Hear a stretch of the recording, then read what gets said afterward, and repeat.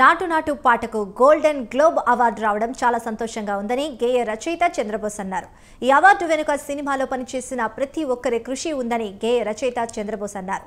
ఎన్నో ఏళ్ళ తపస్సుకు ఫలితం దక్కిందని అంటున్న. చంద్రబోస్తో మా ప్రతినిధి Laxminarayana face to face. Chandrabose అద్భుతమైన పాటలు రాసి అనేక రకాల పాటలు రాసి కేవలం తెలుగు ప్రపంచానికే కాదు ప్రపంచం మొత్తానికి పరిచయమైన రచయిత గేయ రచయిత చంద్రబోస్ ప్రస్తుతం మనతో ఉన్నారు. సార్ ఫస్ట్ ఆఫ్ ఆల్ స్వతంత్ర ఛానల్ తరఫున మీకు కంగ్రాచులేషన్ గ్లోబల్ అవార్డు మీకు దక్కింది. ఎలా ఎలా అనిపిస్తుంది మీకు? థ్యాంక్ యూ భయ్యా. థ్యాంక్ యూ వెరీ మచ్ ఎందుకంటే నా ప్రయాణాన్ని నా గమనాన్ని మొదటి నుండి మీరందరు మిత్రులందరూ చూస్తున్నారు. నా పాటలు వింటున్నారు.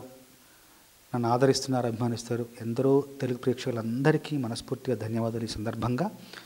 తెలుగు రాష్ట్రాల్లోని తెలుగు ప్రేక్షకులే కాకుండా ప్రపంచవ్యాప్తంగా ఉన్న తెలుగు ప్రేక్షకులందరికీ మనస్ఫూర్తిగా ధన్యవాదాలు. ఎందుకంటే అందరూ ఆదరిస్తేనే పాట అందరూ అభిమానిస్తేనే పాట. ముఖ్యంగా ఈ సందర్భంగా ట్రిపుల్ ఆర్లోని నాటు నాటు నాటు పాట గోల్డెన్ గ్లోబ్కి ఎంపిక కావడం అందులో విజయాన్ని సాధించడం. దీంట్లో సంగీత దర్శకులు కీరవాణి గారు కింద లిరిసిస్ట్గా నా పేరు. నేను ఎప్పుడూ అసలు కల్లో కూడా ఊహించలేదు. పాట రాస్తే దర్శకుడు మెచ్చుకోవాలి దర్శకుడు అభినందించాలి. అంత సినిమాలో ఉంటే చాలు మనకి. పారితోషికం ఇస్తారు అయిపోయింది.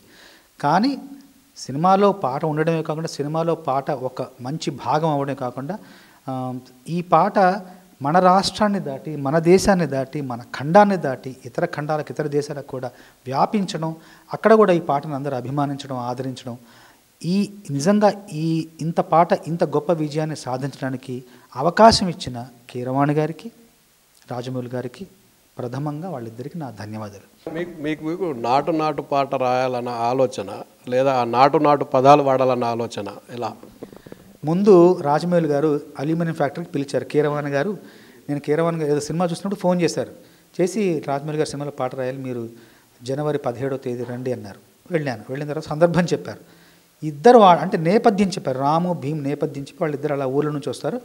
ఒక పని కోసం వాళ్ళు అలా వెళ్తుంటారు. దాని ఆ క్రమంలో ఒక పాట పాడతారు. ఆ పాటతో మిగతా వాళ్ళందరినీ అప్రతి అప్రతిభుల్ని చేసి ముగ్ధుల్ని చేసి ఆ పాటలో వాళ్ళ గొప్పతనాన్ని వాళ్ళు చాటి చెప్తారు. ఇది పాట సందర్భం. ఈ పాటలో ఏ విషయం చెప్తారో మీ ఇష్టం. కాకపోతే పాటలో ఏది ఉండకూడదో చెప్తా అన్నారు. ఏంటండి ఏం ఉండకూడదు అన్నారు ఇతరుల్ని దూషించకూడదు. తెల్లవాళ్ళు ఉన్నారు ఏ మీ భరతం పడతాం మిమ్మల్ని చేస్తాం మీరు బానిసలుగా మమ్మల్ని చేస్తున్నారు మిమ్మల్ని అంతం చేస్తాం మీరు రక్తం కళ్ళ ఇలాంటివి ఏమి ఉండకూడదు. అవమానించకూడదు చిన్నబుచ్చకూడదు తులనాడకూడదు వాళ్ళని. ఒక మాట దుర్భాష దూషణ ఏం ఉండకూడదు. మన గొప్పతనం మనం చెప్పాలి మన ఆట గొప్ప చెప్పాలి మన గురించి చెప్పాలి తప్ప ఇంకొకరు మా ఇంకొకరు ఒక మాట మనం అనకూడదు అన్నారు అనుకున్నా. ఒక వాళ్ళు ఒక ఆడుతుంటారు ఆ ఆటకు ఒక పదం కూడా ఉండాలి ఒక ఒక హుక్ లైన్ లాగా కూడా మీరు అనుకోండి మీ ఇష్టం మీరు ఏం మీరు శూన్యం నుంచి మీరు సృష్టించండి అన్నారు. కారులో వస్తూ వస్తూ వస్తూ ఫిలిం నగర్ దగ్గరకు వచ్చాను.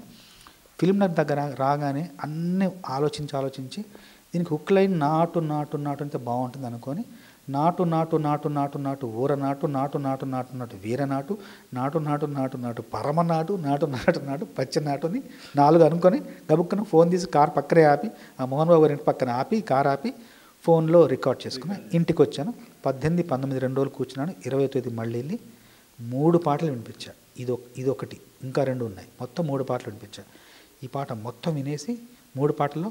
ఆ రెండోది మళ్ళీ ఒకసారి పాడండి అన్నారు రా రాజమౌళి గారు. రెండో పాట ఇది. మళ్ళీ పాడా. కిరణ్ గారు చూసుకున్నారు. బాగుంది. దీని మీద కూర్చుంది. రెండో పాట మీద కూర్చుంది అన్నారు. ఇంకా అక్కడి నుండి. అప్పుడు తొంభై శాతం అయిపోయింది. అక్కడి నుండి దాన్ని మళ్ళీ రికార్డ్ చేయడం ఇంకొకలాగా ఉంటే బాగుంటుందని వాళ్ళు వాళ్ళు అనుకోవడం తర్వాత చేర్పులు మార్పులు కాదు చేర్పులు. ఈ పది శాతం చేర్పులకి పాండమిక్ వచ్చింది షూటింగ్లు వాయిదా పడుతున్నాయి సమయం ఉంది. ఇంకా అలా అలా అలా అలా పంతొమ్మిది నెలలు పట్టింది. ఈ ఈ ఉత్తేజంతో ఈ ఉత్సాహంతో మరెన్నో మంచి పాటలు మంచి చర్యలు చేయడానికి మాకు ఇంకా బలం వస్తుంది అని మనస్ఫూర్తిగా నమ్ముతూ మరిన్ని మంచి అవకాశాల కోసం నేను ఎదురు చూస్తున్నాను. ఎందుకంటే అవకాశమే మన ప్రతిభకు వేదిక. మన ప్రతిభను ప్రదర్శించడానికి అవకాశమే వేదిక. మరొక్కసారి అవకాశం ఇంత అరుదైన అవకాశం ఇలా అరుదైన విజయం పొందే పురస్కారం పొందే అవకాశం ఇలా ఇచ్చిన కీరవాణి గారికి మనస్ఫూర్తిగా ధన్యవాదాలు. థ్యాంక్ యూ ఇది చంద్రబోస్ గారి మనోగతం. ఖచ్చితంగా భవిష్యత్తులో కూడా మరిన్ని మరిన్ని గొప్ప గొప్ప అవార్డులు అందుకుంటారని ఆశాభావం వ్యక్తం చేస్తున్నారు చంద్రబోస్. కెమెరామెన్ శ్రీనివాస్తో లక్ష్మీనారాయణ హైదరాబాద్.